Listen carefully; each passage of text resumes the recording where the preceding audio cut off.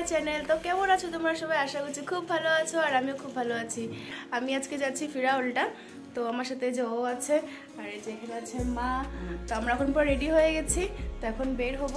তো চলো, বের হই এখন। আর আমাদের সাথে যাচ্ছে প্রিয়া আর ছদ্দি এখানে দাঁড়িয়ে আছে পুচুকে নিয়ে। এই যে ছদ্দি পুচুকে দাঁড়িয়ে আছে। তো চলো আমরা এখন বাড়ি যাই। তো এখন টাইম হয়েছে কিছু দশটা পঁয়তাল্লিশ, আর আমরা গাড়িতে উঠে গেছি। মা ওরা বাড়ি চলে গেছে, পিছনে বসেছি আমি আর ও, আর প্রিয়া আগে বসেছে। গাড়ির ভিতরে ভালো করে লাইটটা আসছে না, তাই একবার বাড়ি গিয়ে কথা হচ্ছে তোমাদের সাথে।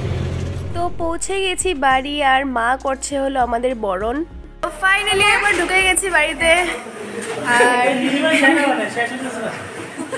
দাদা বসে আছে, ওর সাথে কথা বলছে, আর এখানে ফুটোরা বসে আছে আর এই যে পূজা তো পুচিকে নিয়ে ব্যস্ত আমাকে একটু আমাকে একটু টাইম দিতে হয়। টাইম দিয়ে নিই তোকে? আর এই যে প্রিয়া। আর মা ওরা কি করছে দেখাচ্ছে তোমাদেরকে একটু। এই যে হলো আমার মাসি আর ওখানে গিয়ে আমি কয়েকদিন রান্না করেছিলাম মাছ রান্না করেছিলাম। আমি তো আগে কোনো রান্না বান্না করিনি। তো রোজ মাসিকে ফোন করছি যে ও রান্না কীভাবে করতে হয়? মাছ খেয়ে মানে মাসি রান্না অনেক স্বাদ। আর মাসি যেভাবে বলছে ওইভাবে আমি রান্না করেছি সত্যি আমারটা খুব স্বাদ হয়েছিল। আর এটা হলো ওই যে কাকি।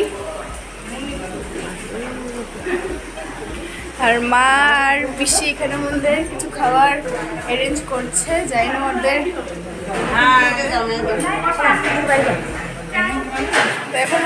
আমাদেরকে ব্রেকফাস্ট করতে দেবে টাইম তো অনেক বেশি হয়ে গেছে। ঠিক আছে, আমিও ঘর থেকে কিছু খেয়ে আসিনি, অনেক লেট হয়ে যাচ্ছিল বলে। ঠিক আছে, এখন যা যা দেবে একটু খেয়ে নেব। চলো, দেখতে থাকো।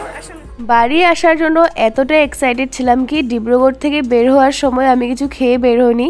কিন্তু দুলিয়াজান পৌঁছতে পৌঁছতে আমার অনেক জোরে খিদে পেয়ে গেছিল।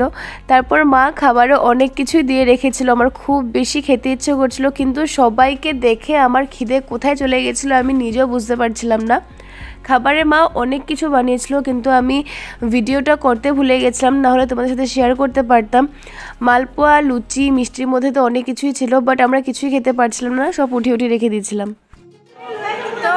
এতক্ষণ এখানে বসে খাওয়া দাওয়া করলাম, একটু গল্প করেছি। তো ওর পায়ে একটু ব্যথা পেয়েছিল বলে ও ঘরে যেতে পারেনি, ভবনে সব কিছু অ্যারেঞ্জ করেছে। তো এখন আমরা একটু বাড়ি যাব, আমি শুধু, আমি, দিদি, পূজা। তো আমার বাড়িতে রাখলে ভালো লাগবে না, এতদিন পরে এসেছি, একটু তো মনটা চায় না। তো ঠিক আছে, এখন আমি, পূজা আর দিদি এখন যাচ্ছি বাড়ি। তো চলো, তোমরা আমার সাথে। তো ঘরে ঢুকে প্রত্যেকটা রুম ঘুরে নিয়েছি ভিডিও করতে ভুলে গেছিলাম, এখন বের হয়ে যাচ্ছি। আর আমি এখন দাদার স্কুটি করে ওখানে চলে যাব। দিদি ওরা হেঁটে হেঁটে আসবে। তো চলো আমার ভবনে গিয়ে দেখা হচ্ছে। দেবান সাইকেল আছে অথর বাবা বলতো হাই বলতো হাই হাই হাই বলো হাই ফ্লাইং কিস দিয়ে দাও। মা ফ্লাইং কিস এরকম করে। ইনি হলো আমাদের বম্মা মানে আমাদের পাশের বাড়িতে থাকে। খুব আদর করে আমাদের আর বিরাটকেও খুব আদর করছিল, একটু আশীর্বাদ করে দিচ্ছিল, কারণ বিয়ের সময় ওই আশীর্বাদটা করতে পারেনি, কারণ কি খুব তাড়াতাড়ি তাড়াতাড়ি আমাদের বিদায়টা হয়ে গেছিল। আর ইনি হলো একজন দিদা, উনিও বিরাটকে আশীর্বাদ করছিল। আমরা এখানে এসেছি, অনেকটা সময় হয়ে গেছে, আর সব গেস্টরা আসা শুরু হয়ে গেছে। আমাদের এখান থেকে অনেক জলদি বের হতে হবে বলে আমাদেরও খাবার দাবার দিয়ে দিয়েছে। তো চলো এবার খাবারটা খেয়েই নিই।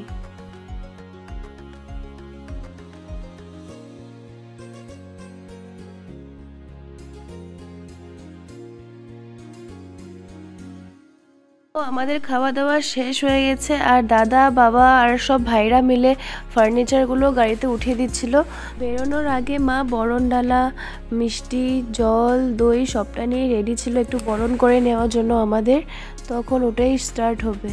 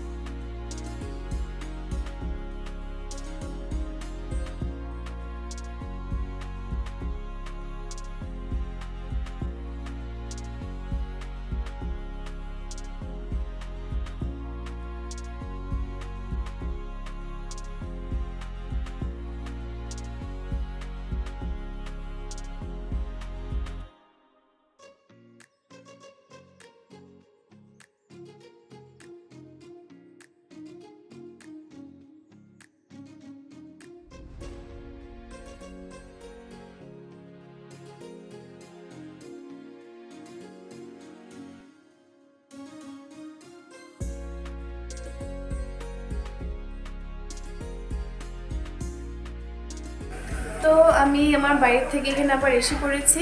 তো এসে একটু বসেছিলাম, আমি প্রিয়া উপরের রুমে বসেছিলাম, কারণ কি বাইরে থেকে যা যা ফার্নিচার দিয়েছিল, ওটা ওর মানে আমাদের রুমে শিফট করছিল।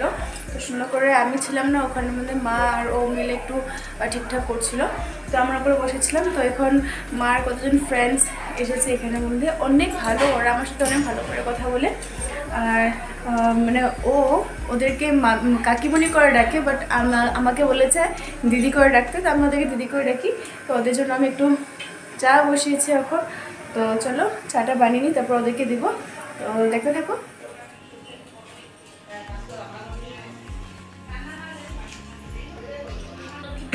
তো এখানে আমাদের নতুন মামি চা বানাচ্ছে, গোকুলটি বানাচ্ছে স্পেশাল আর এটা হলো স্পেশাল টি যেটা শুধু মারা খায়। তো আমরাও খেয়ে নিই, আমাদের জন্য এক্সট্রা করে চা বানাই না। এটা হলো গোকুল টি তো আমি এখন বানিয়ে নিচ্ছি এটা। এটা আমি দিয়েছি, এটা একটু চা পাতাটা মধ্যে আমি আদা দিয়েছি, গোলমরিচ দিয়েছি একটু নুন দেবো, আর কিছু দেবো।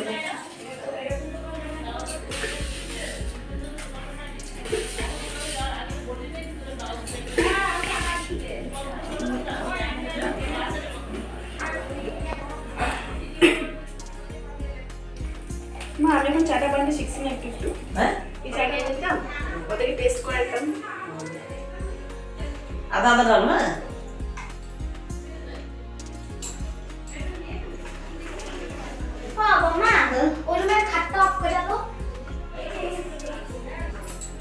আমি একটু আমার ব্রেন ইউজ করেছি। এই কাপড়টি দিয়ে দিচ্ছি এখন তারপর আমার বাসন কম ধুতে হবে।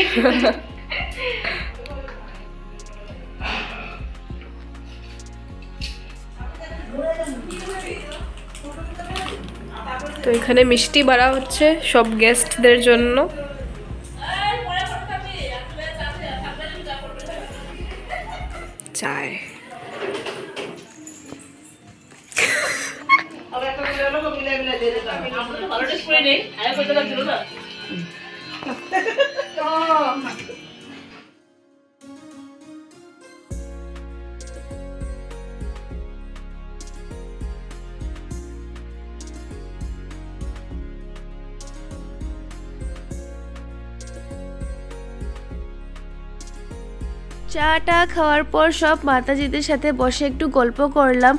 তারপর ওনারা চলে যাওয়ার পর আমরা সবাই মিলে বসে গেছি গিফটগুলো দেখার জন্য, খোলার জন্য। তো আমার এভাবে গিফট খুলতে খুব ভালো লাগে। তো অনেক ভালো ভালো গিফট পেয়েছি। তো আজকের জন্য টাটা। তোমাদের যদি আমার ভিডিওটা ভালো লেগে থাকে তাহলে একটা লাইক, কমেন্ট শেয়ার অবশ্যই করো। আর দেখা হচ্ছে অন্য আরেকটা ভিডিওর সাথে। তো আজকের জন্য টাটা।